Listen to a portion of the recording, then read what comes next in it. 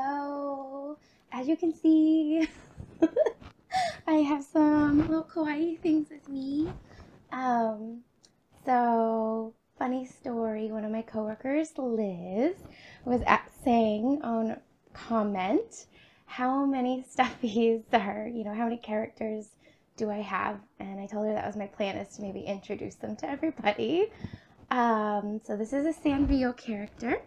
Name is Marumofubiyori. He's a lazy, lazy polar bear. So every character in Sanrio has their own little story. So I'm going to read to you his little write-up. So Marumofubiyori is a white bear cub that is always wrapped in his favorite blanket and loves to laze around at home. His roommate, who works at an aquarium and gave him the nickname Moppu, because he always drags his blanket around as if mopping the floor. The girl gave Moppu two plush toys to keep him company who are his best friends. Kanikama is a toy crab who is a reliable character, and Gineku is a toy fish who has a mysterious antenna. And I hope I said that right. Hopefully my Japanese sensei um, would would say that I did a good job with those pronunciations. Anyways, um, so today I am going to do a piece called Little Fountain, and it's by Samuel O. Pratt. And it's actually a lot of my family's favorite song, um, specifically my grandfather that passed away in 2012. So I would love to dedicate this to my grandpa, our grandfather, Sam Patterson Sr. Um, okay.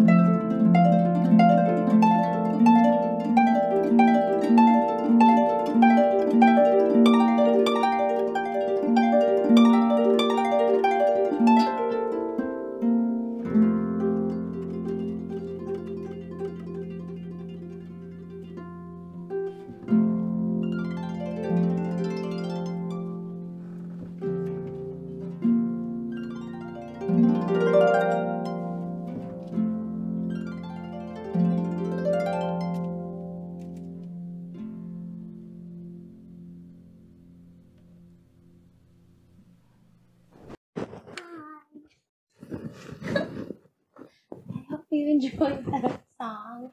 I also forgot to add to my introduction that this shirt was from my coworker Liz Hello Kitty Year of the Pig, which just last year.